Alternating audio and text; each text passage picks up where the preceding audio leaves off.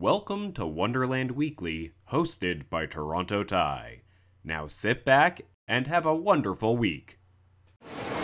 Hey everyone, Toronto Ty out here at the front gate of Canada's Wonderland during Halloween Haunt. And as you can see, it is a very, very, very crowded front gate.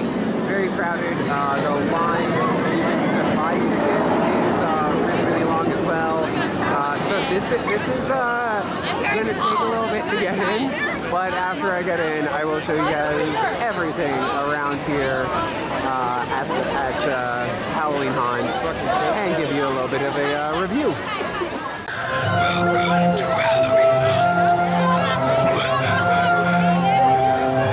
All kinds of monsters and creepy things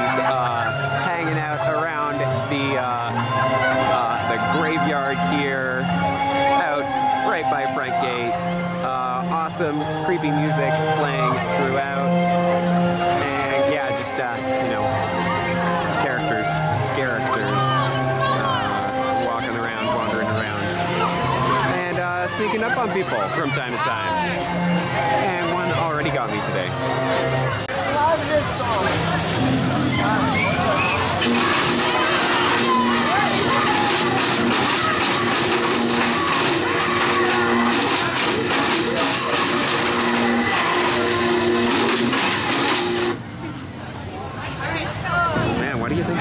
To deserve that?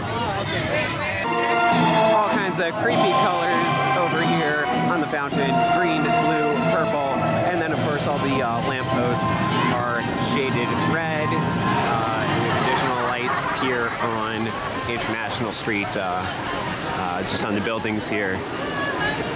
And perfect to light up that skeleton.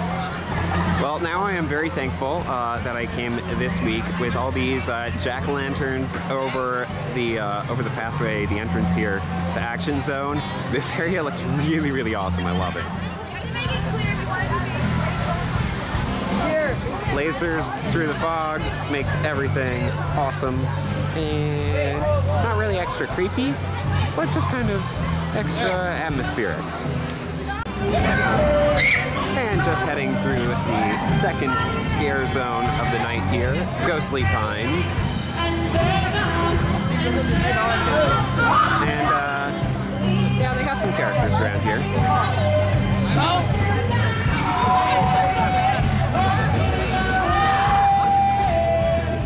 And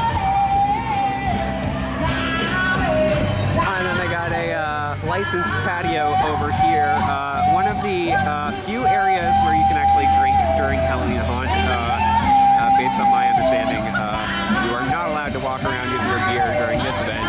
Uh, and they've got live music, which is awesome. Um, but yeah, just right out by Backlot Cafe. Ooh, another character. Fun times.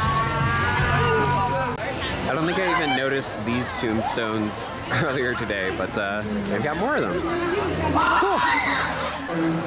So Action Zone is uh, a bit of a safe zone, if you will, uh, from most of the haunted stuff. There's only the one show in here, and uh, Ghostly Pines, I believe. Uh, and but they, they still have you know some decorations up here. Uh, some of the rides over here are not operating either. Uh, I believe Time Warp is closed, uh, as well as Swing of the Century uh, and the Antique Carousel, just, you know, because they're not as popular. Ooh, Devil Circus is, I, I don't know if it's still going, yeah, it's still going on, uh, but I'm to check it out uh, later on in the night, uh, just to make sure to show you guys the full show. So I'm not sure if uh, any of you guys will agree with me on this or not, but I think that it would be really, really cool and creepy uh, if they somehow managed to get the uh, antique carousel, uh, just just run it during haunt, but don't have it be open uh, and don't have anybody there like operating the ride. You know, just have like somebody watching the ride to make sure that nobody gets hurt around it, but uh, you know, hidden or, or something, and just have you know the music playing, like some slowed down version of uh, the carousel music playing, and just have it going throughout the night. I don't know. that that's just me. I think that would be really cool, but I don't know if they could make it work, and I don't know if anybody agrees with me or not. Let me know. All right, guys, I had to turn the brightness uh, up here quite a bit in order to make out uh, Yukon Striker, but it's just because uh, I have something really scary to tell you guys. Yukon Striker, it's not to be open on time. They're behind schedule. It's the worst thing ever. It's so scary. Just kidding. All right, heading into the third scare zone here. And uh, lots of bright lights. But uh, still very, very dark in here overall. Uh, so this is the new one for this year, Wicked Hollow. Hello.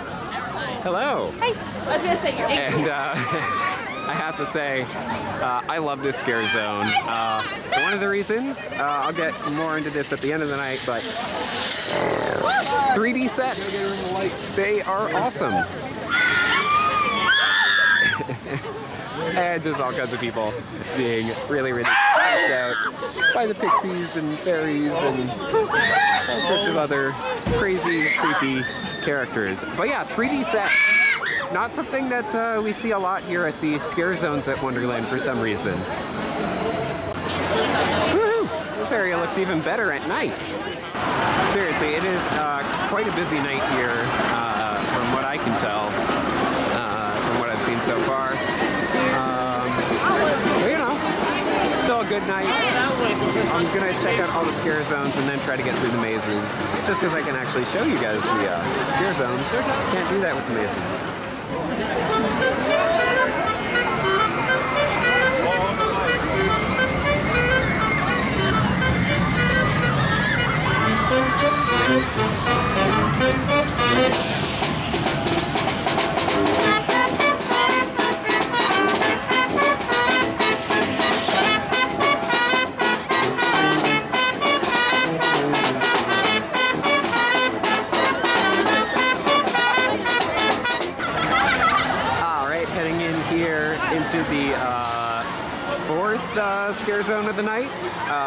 Or Treat.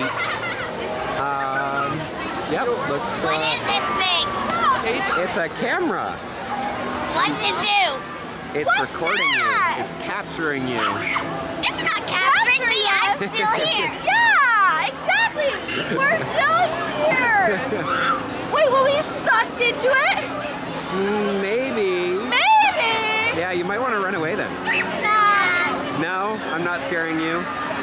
Okay, well then I'm just gonna run Bye. myself.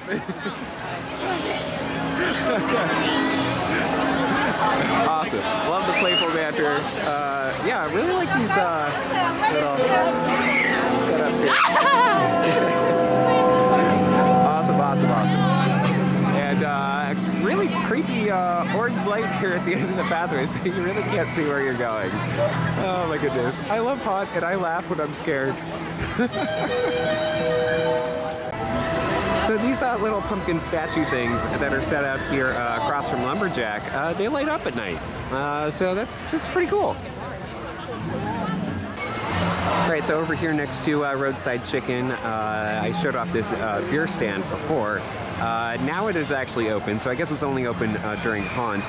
And then they've got like these little space heater things uh, here uh, in the uh, beer jail, as it were. So just kind of interesting. More lasers, more lights, and more lines. Yep, this uh, line for uh, Spirit Manor goes all the way back there. Uh, or maybe it's for Cornstalkers. I don't know which. Maybe both. Yeah, so I know that you guys can't see uh, too well over here, and honestly, I can't either. I am in KidZville, waiting for Spirit Manor and uh, Cornstalkers. Uh, yeah, right, right in front of uh, Flying Eagles. Uh, I've never seen the line quite this long before, but of course, uh, Action Theater, aka Spirit Manor, used to have its own queue, and uh, it does not anymore. Now it just has that uh, nice pathway that I showed off uh, in the Camp Spooky video, or that I will show off, uh, depending on you know which of these videos gets uploaded first. But anyway, I I'll uh, give you my review once I uh, So get out of these two mazes. Might be. I don't think they have anything. Quick review of Cornstalkers and uh, Spirit Manor. So Spirit Manor, awesome as usual. I absolutely love the atmosphere in there. Uh, not a whole lot of scares, but uh, but still really really good. I, I, I, love it. Uh, Cornstalkers, it's always been kind of bottom of the barrel for me, and it's kind of still down there. Uh, I did see some improvements. Uh, a couple of the uh, scarecrows uh, were really, really good at uh, staying still. Um, but uh, overall, there are not enough scare actors uh, or scare actors, and not enough fog. I think if there was more fog, it would be harder to see where the uh, scare actors were, which would help. But yeah, that's just my quick review of these two. Oh man, have to head back through Trick or Treat in order to get out of here. It's literally the only way out.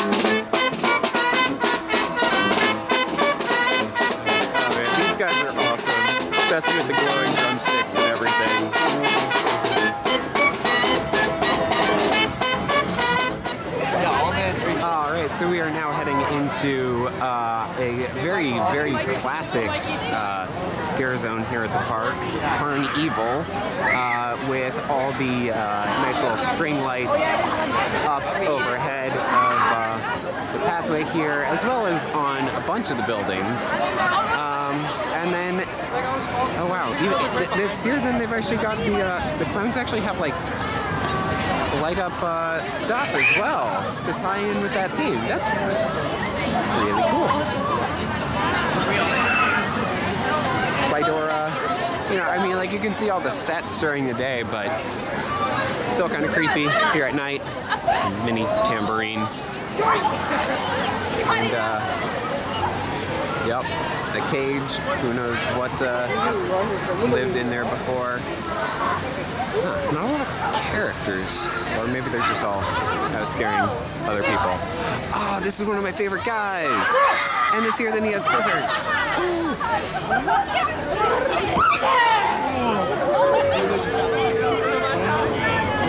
All right, and now when I'm starting to be able to, uh... oh man, I love these guys. Um... Yep. Well, that's uh, that's about it for CarnEvil.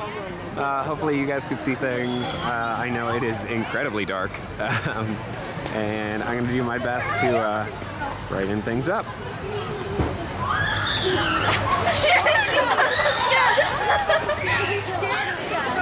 So the uh, single spotlight here on the mountain uh, has been a staple here for uh, quite a few years. Uh, one thing that I have always uh, really, really wanted the park to do is you know, have some sort of uh, show on the mountain during haunt. I know they've got the lights on it and everything, but like an actual, you know, Starlight Spectacular style show on the mountain. I would really love that, and hopefully they at least do that for uh, Winterfest next year. That'd be really, really cool. But you know, I mean, with the temperatures so low, I don't know how all that would work out.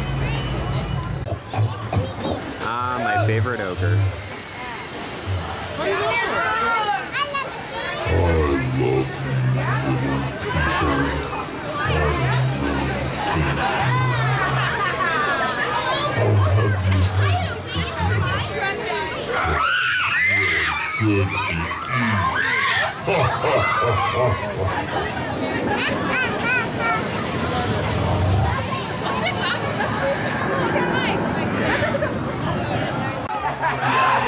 All right, final scare zone of the night.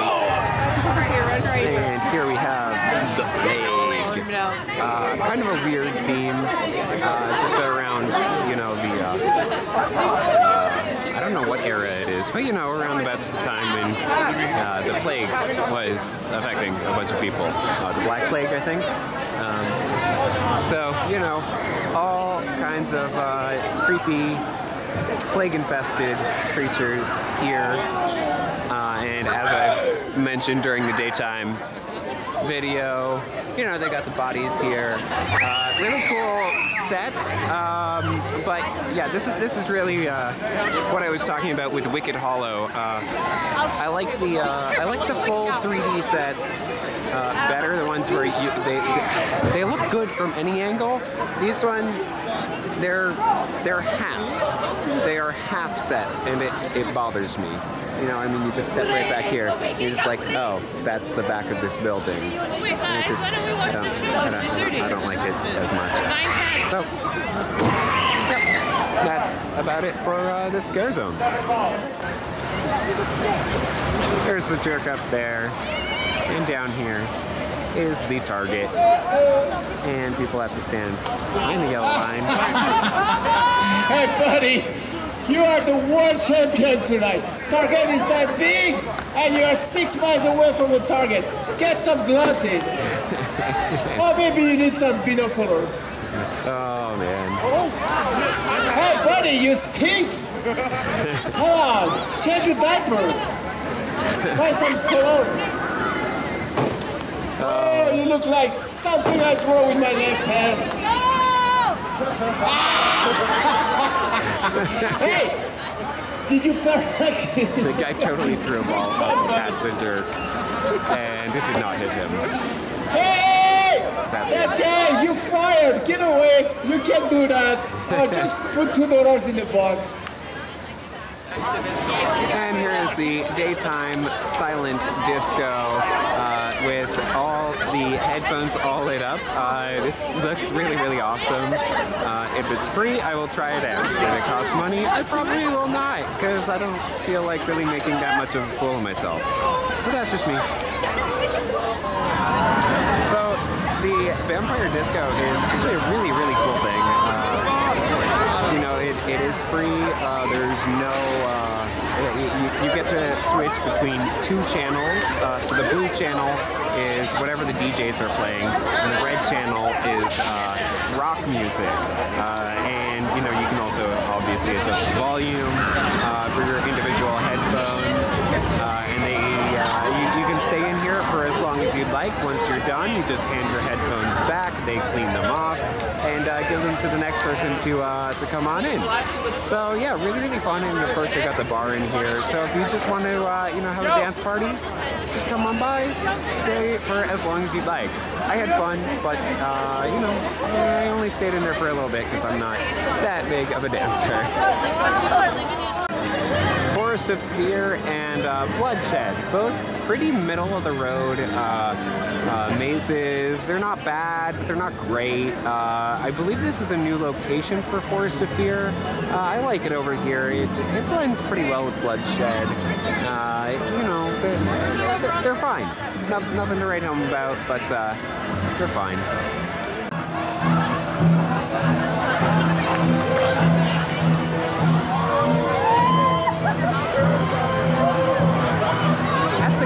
Me before. Being on rollerblades, he can uh, come up on you pretty quickly.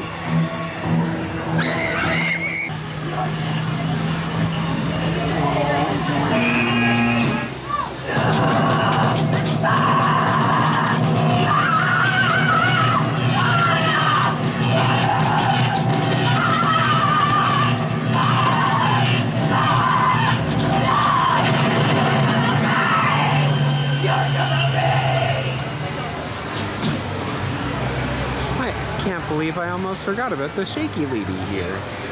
I feel like she used to shake more though. Uh, Jack-o'-lanterns. All kinds of fun. There's a guy hiding in the bushes here.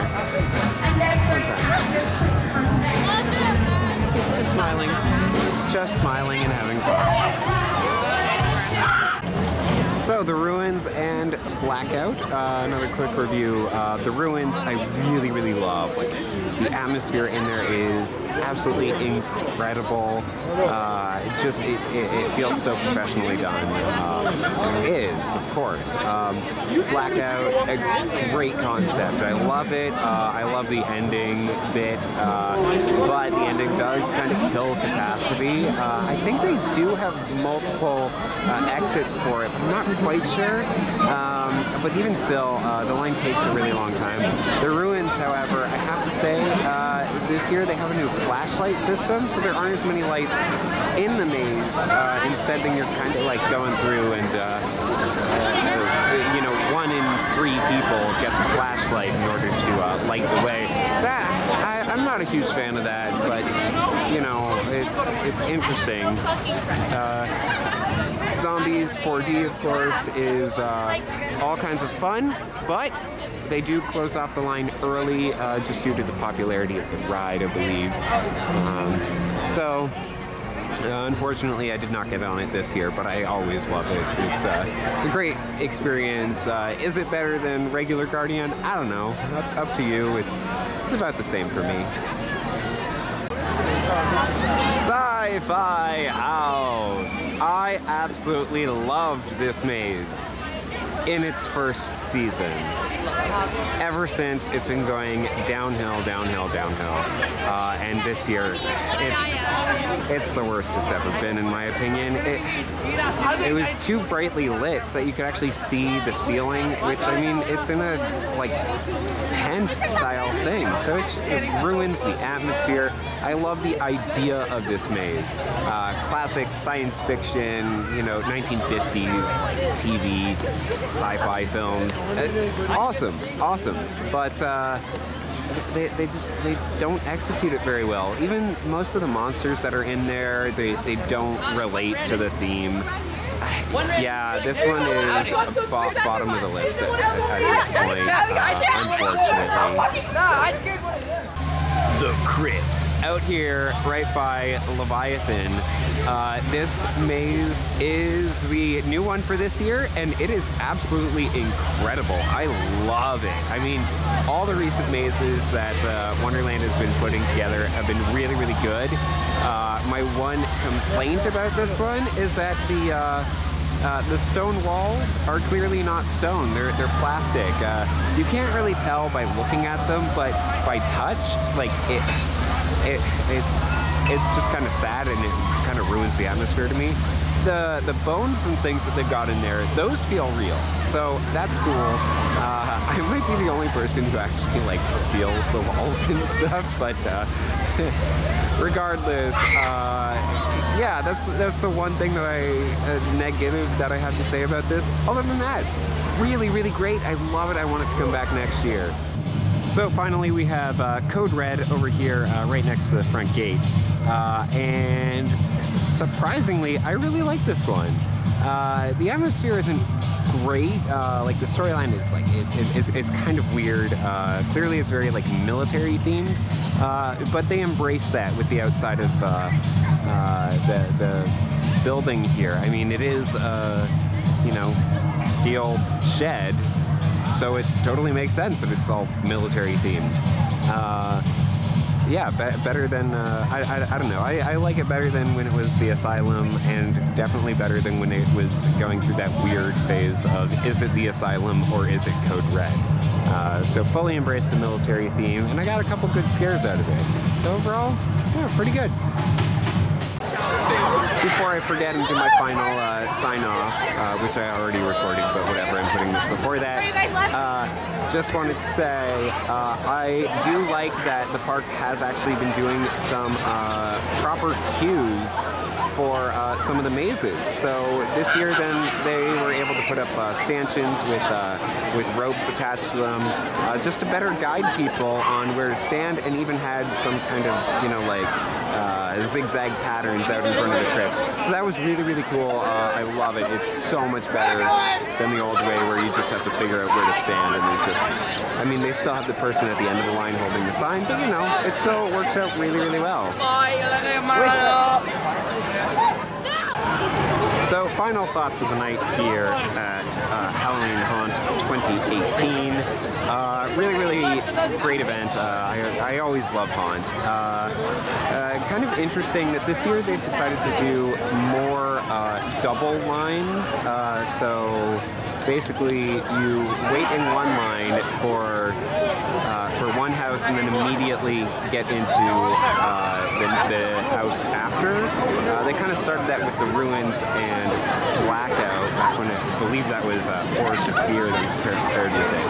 Uh, but uh, they, they've just continued to do that because now you have uh, the crypt and sci-fi house are together uh, and spirit manor and uh, cornstalkers and then forest of fear bloodshed so all of those together uh, meaning that uh, you kind of still have to wait in two lines but you only have to get into line once uh, so yeah, just, Recording, Mr. Video Man! just a quick little review hi Alice! Alice. Cool. Good to meet you. It's me too, Mr. Video Man! You wanna be friends? sure. Yay! Awesome. I just made friends with Alice here. Uh, so yeah, great event. I loved it. Um, and uh, I always love the interactions with the monsters there. Uh, so yeah, fun times. Top house is probably the crypt, to be quite honest. Uh, followed by Spirit Manor, the ruins. Uh, eh, yeah, somewhere around the middle. Uh, let's see, Blackout, Forest of Fear. Um, bloodshed and uh, cornstalkers, then sci-fi house. Sci-fi house. Eh. Uh, I, I miss the old sci-fi house. Back when it was good. But anyway, that'll do it for uh, Halloween Haunt 2018. So until next time, have a good one. Thanks so much for watching. Be sure to like the video, comment with anything you'd like me to cover in the future, subscribe, hit the notification bell, and support me on Patreon so that I can visit more parks and create more wonderful videos.